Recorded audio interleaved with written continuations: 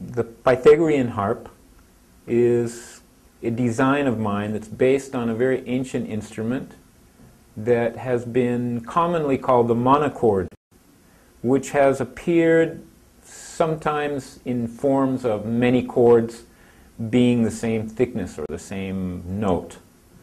So basically, my concept I have three different harps I've designed, and I've been playing them over the years in my own way, finding, exploring from what I have read from different texts and different stories of history of the numerology and the secrets of the magic of the sounds of music, how it affects us, and in what way we can find the correct overtones and tune them in a way that's intuitive and creative. And uh, I also have students with the harp, and I show them in the way that they can find their own song inside of them. And I believe we all have many songs inside of us, and with the natural proportions of the Pythagorean intervals, we can find uh, how to create our own music spontaneously, and it can be change our song every day because every day is a new day and there's a new song. So that's basically what my idea. Uh, the the mysticism of Pythagoras is also very intriguing to me. I've been studying things, and I think I've discovered certain things, intuitive things, of how to actually apply or how to play the Pythagorean harp that uh, I haven't really discovered from other sources in these last 2,500 years since Pythagoras was with us. And uh, the philosophy of Pythagoras is very interesting, and there's been a lot of cover up with the media in the history uh, that's very interesting. And that kind of aspect of the Pythagorean philosophy and how it relates to music is the, the, what, re, what is important with the Pythagorean harp and how we can apply it uh, in an intuitive, simple way, use it in a curative way to relax, to in a meditative way. And uh, this small version, which is the beginner's version, the way I learned to play the harp, I found a, a very similar instrument in my college when, I, when we were studying a, in a seminar about the music of the spheres and uh, you never really played the harp. They had a different way of measuring notes, and they used it for very historic purposes. But I just started playing it, and and uh, playing around with the Pythagorean intervals, and come up with many different ways of tuning it and playing it.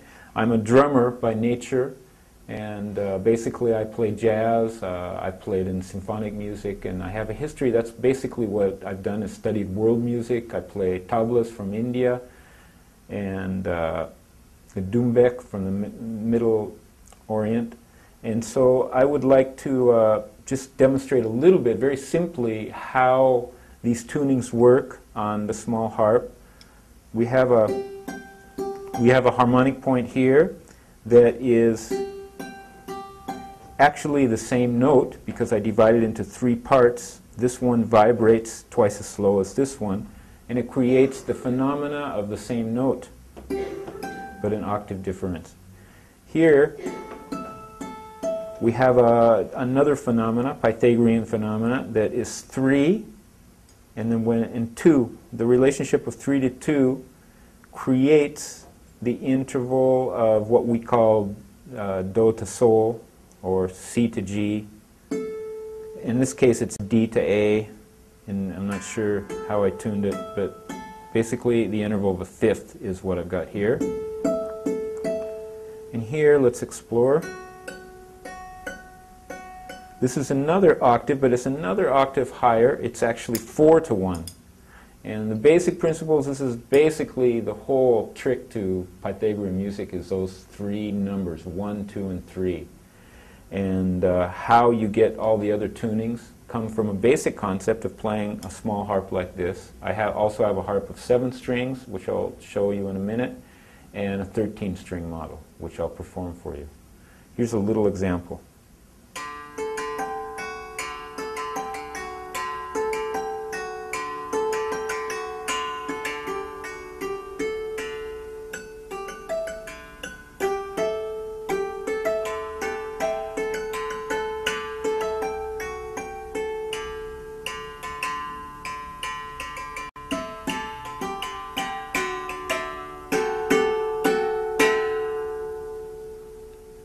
So the idea, once you tune the harp, whether it's the, the four-string model, seven-string model, or 13-string model, is that you can play any note that you want or any pattern that you want, and it should come out musical because the nature of the proportions of these harmonics are so natural. They can be set in almost any different combination, and so it's like throwing the dice. There's really a certain mathematical way that we can unlock the intuitive part of each of us and learn music that way. You know, and that's the idea to give a different approach that's uh, quite a bit more subjective than objective, and that each person can explore their own music through these natural laws of music.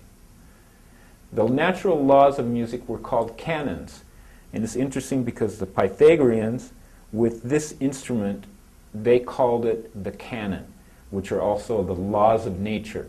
And according to what I've discovered, the little I've been able to discover in the history of Pythagoras, that the laws of music are the basis of the laws of mathematics and the laws of physical science, the laws of uh, all the arts, which is dancing, painting, uh, the biology of healing, they're all basic, based on the musical concepts of creating harmony. And this is the part of Pythagoras they don't really teach in the schools, but it's an actual fact that, that's been reported by the historians, but they're very ashamed of the fact that Pythagoras never wrote anything about his treatises of music. So basically, I'm on the path of rediscovering these uh, ideas based on very simple musical ratios that are considered to be Pythagorean. So basically, that's, that's uh, the presentation of my four string instrument and a little bit about the philosophy of Pythagorean music. Thanks.